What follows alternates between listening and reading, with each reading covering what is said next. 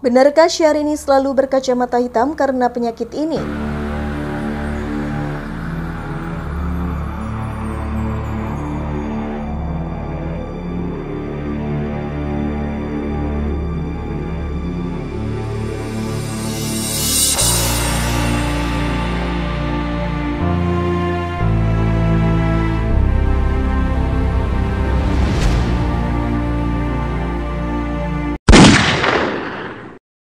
Dapur berita artis terkini.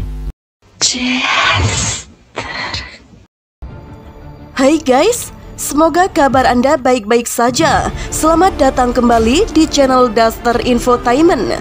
Terima kasih karena sudah memberikan support dan juga kesetiaan Anda untuk membangun channel ini. Syahrini identik dengan kacamata modis dalam setiap penampilannya, apalagi kalau terlihat di luar ruangan. Alasan kenapa Syahrini selalu memakai kacamata hitam dalam kesempatan apa pun, ternyata Syahrini mengidap penyakit berbahaya. Penyakit apa yang menyerang Syahrini sehingga harus melindungi dirinya dengan selalu memakai kacamata?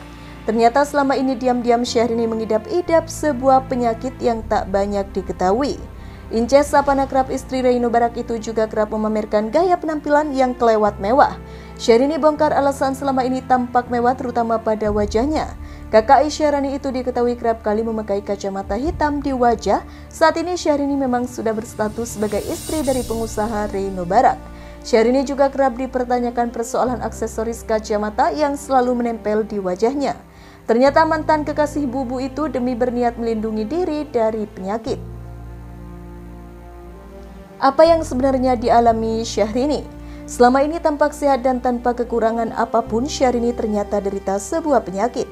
Syahrini juga sering dibicarakan terkait keadaannya yang tak kunjung hamil.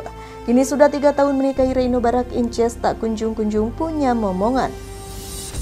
Mungkinkah penyakit Syahrini ini sebenarnya ikut mempengaruhi kehamilan tersebut? Ternyata jawabannya tidak, Syahrini mengidap penyakit serius pada matanya. Di balik kacamata hitam mewah yang dipakai penyanyi Syahrini ada derita yang tersembunyi. Istri Reino Barak mengungkapkan penyakitnya. Di balik keglamoran, siapa sangka Syahrini atau yang kerap disapa Inces itu mengalami sakit yang cukup mengganggu. Itu diungkap Inces kala diwawancarai di salah satu acara televisi bersama sang suami, Reino Barak. Keduanya diwawancarai soal olahraga yang aktif dimainkan selama masa pandemi COVID-19 ini.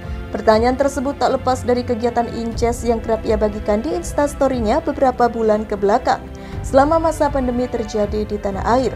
Untuk Reino Barak, pengusaha keturunan Jepang itu memang diketahui sangat senang olahraga tinju.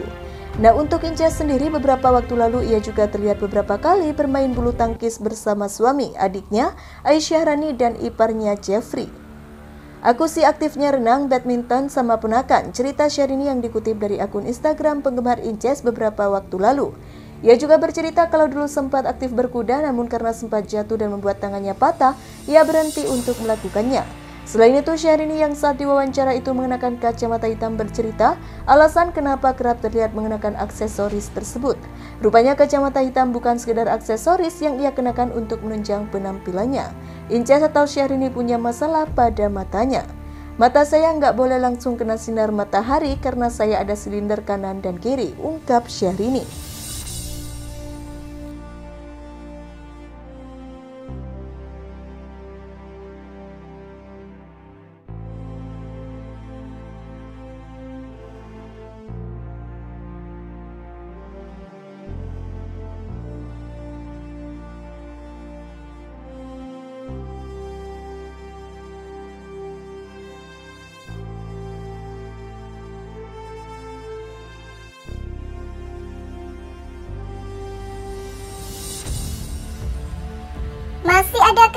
Comeback sebagai penyanyi Syahrini?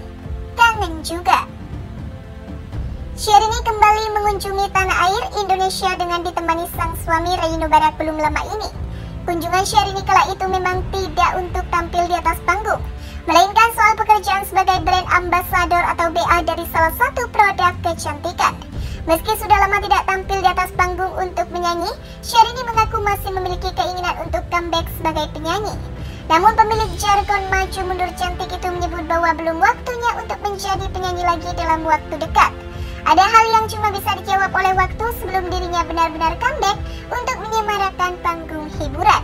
Syahrini tidak melupakan karir yang melambungkan namanya, karir penyanyi itu tetap ada dalam benaknya. Sejak Februari 2019 pasca pernikahan menikah dengan Reino Barak di Masjid Tokyo, Jami, Jepang.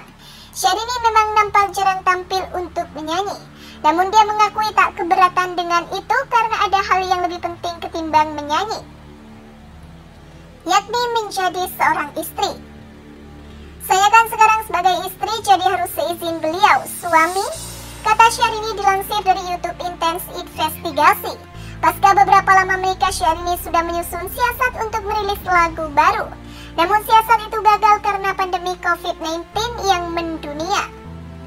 Usai pandemi COVID-19 adalah momentum untuk merekam lagu baru. Karena sudah dua tahun tidak menyanyikan karya baru, aku tidak meninggalkan dunia menyanyi. Karena sometimes kangen juga sama pemirsa, jadi nyicillah satu-satu aku harus rekaman karena banyak lagu yang belum aku recording, katanya. Wanita yang kini berhijab itu tidak menyebut kapan akan benar-benar merilis album baru. Belum ada mood untuk all out seperti dulu sampai betul-betul reda sampai orang tidak bermasker lagi dan virus ini udah nggak ada lagi, ujarnya. Selain soal mood, Syahrini menyadari jika dirinya telah berkeluarga untuk itu, apa yang akan ia lakukan perlu mendapat izin dari suami, Reino Barak. Namun bagi Reino Barak sendiri ini agaknya belum mengizinkan jika istrinya melanjutkan karir sebagai penyanyi waktu dekat ini. Tapi kalau menyanyi itu belum ada izin bisa pulang sampai malam. Yang diizinin ini masih syuting iklan. Lagi aku juga belum punya karya, jadi aku sepakat tidak akan tampil di panggung dulu, ujarnya.